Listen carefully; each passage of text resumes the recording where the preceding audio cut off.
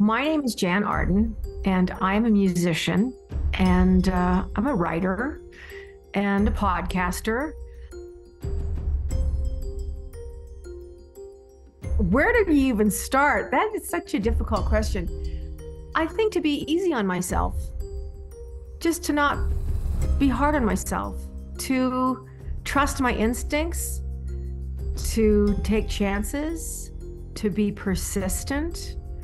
Um, and that I, I, I think I'd like to tell my younger self that everything's going to be okay and that things work out and that all the obstacles in my life are completely responsible for the kind of person that I am now. So it's very character building.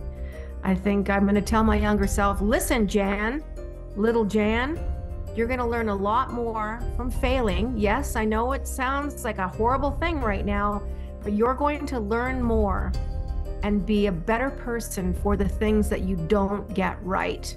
And eventually you will get them right. So uh, don't drink too much. For heaven's sakes, don't pick up a cigarette.